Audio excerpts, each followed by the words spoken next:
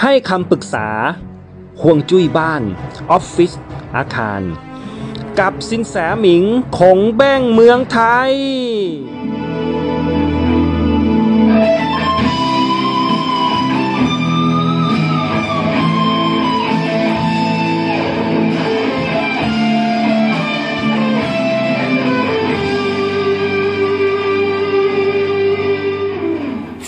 งดูดวงมาตั้งนานแล้ว แต่ไม่แน่ใจว่าตัวเองนั้นเป็นคนลัคนาราศีอะไรกันแน่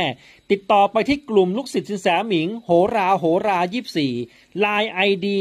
แอดโหราโหรายี่สี่ให้เขาหาให้ครับ ติดต่อสอบถามรายละเอียดค่าใช้จ่ายกันเอาเองนะครับ ชาวลัคนาราศีธนูทุกท่านครับ ดวงรายสัปดาห์ในสัปดาห์หน้านี้ก็คือนับตั้งแต่วันจันทร์ที่ 4 นะครับมกราคมเรื่อยไปจนถึงวันอาทิตย์ที่ 10มกราคม 4 5 6 7 8 9 10ฮ่าฮ่านะครับ เป็นสัปดาห์ที่ดีอีกหนึ่งสัปดาห์ของชาวลัคนาราศีธนู เหตุผลก็เพราะว่าดาวอาทิตย์ดาวเจ้าเรือนสุภะก็โคจรมาทับลัคนา ดาวศุกร์ดาวเจ้าเรือนลาภะแล้วก็เป็นดาวความรัก เป็นดาวศุกร์มันมีดาวเป็นดาวที่มีแสงความรักอยู่ในตัวเอง ก็โคจรมาทับลัคนา ส่วนดาวพุธดาวเจ้าเรือนการงาน และดาวเจ้าเรือนคู่ครองจริง ๆ นั้น ได้โคจรไปอยู่ในภพการเงิน นั่นหมายความว่าชาวลัคนาราศีธนูนั้นจะมีความสำเร็จในสิ่งที่คิดและปรารถนาในหลายๆ เรื่องทีเดียว วันจันทร์นะครับเป็นวันที่จะรับทรัพย์ มีโอกาสจะรับทรัพย์ได้เงินนะครับ รับทรัพย์รับโชคในวันจันทร์ที่ 4 มกรามันจะมาติดติดอารมณ์เสียหงุดหงิดในช่วงวันอังคารที่ 5 ไม่ค่อยสบายใจหงุดหงิดจุกจิกอารมณ์เสียอยากจะมีเรื่องทะเลาะกับคนรอบๆตัวนะช่วงวันอังคารมันก็ใจเย็นหน่อยนะพวกธนูทั้งหลายนะครับ พอวันพุธวันพฤหัสจะโชคดีทั้งในเรื่องของการเงินแล้วก็เรื่องความรัก หรือคู่ครองนำโชคดีมาให้ แฟนหรือคนรักนำโชคดีในเรื่องการเงินมาให้ในช่วงวันพุธและวันพฤหัส พุธที่ 6 พฤหัสที่ 7 ดีมากๆ วันศุกร์ที่ 8 นะครับ เป็นวันที่จะต้องทำอะไรเกี่ยวข้องกับเรื่องของวิชาการ แผนงานต่างๆ หรือเกี่ยวข้องกับเรื่องวิชาการ พอวันเสาร์เป็นวันที่ happy อีกวันหนึ่งวันเสาร์ที่ 9 น่าจะได้ทำอะไรใหม่ๆ หรือได้อะไรที่มันเป็นเรื่องที่ทำให้คุณเองมีความรู้สึกตื่นเต้น มีความสุขแล้วก็ happy กับมันในช่วงวันเสาร์ที่ 9 วันอาทิตย์ที่ 10 เป็นวันที่มีความสุขในเรื่องของความรัก เรื่อง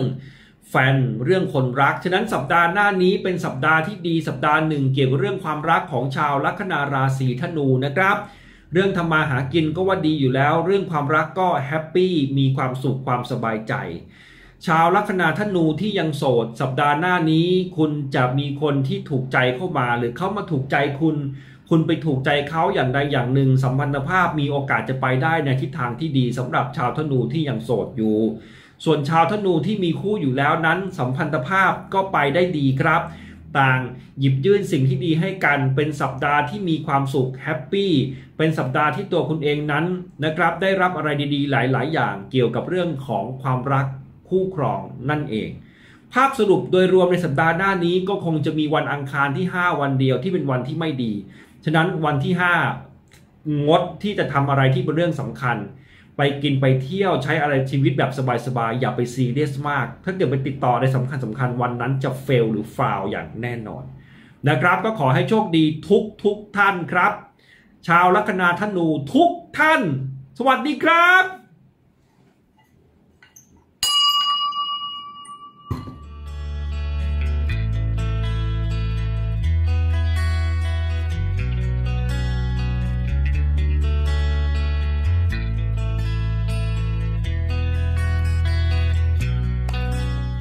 ต้องการเลขเบอร์โทรศัพท์มงคลไว้ใช้งาน เพื่อเสริมความเฮงความปัง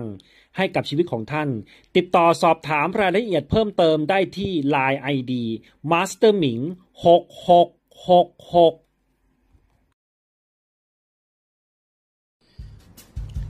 สนใจลงโฆษณากับทาง YouTube สินแสหมิงของแบ้งเมืองไทย ผ่านสายตาท่านผู้ชม 80,000 ถึง 100,000 วิวต่อวัน เจ้าของรางวัลแพลตตินัมจาก YouTube อเมริกา สอบถามรายละเอียดเพิ่มเติมได้ที่ Line ID Master หมิง6666 สำนักมังกรทอง สินแสหมิงคงเบ้งเมืองไทย ให้คำปรึกษา ศาสตร์แห่งฮวงจุย้ย โงเฮง astrology การเลือกใช้เลขเบอร์โทรศัพท์มงคล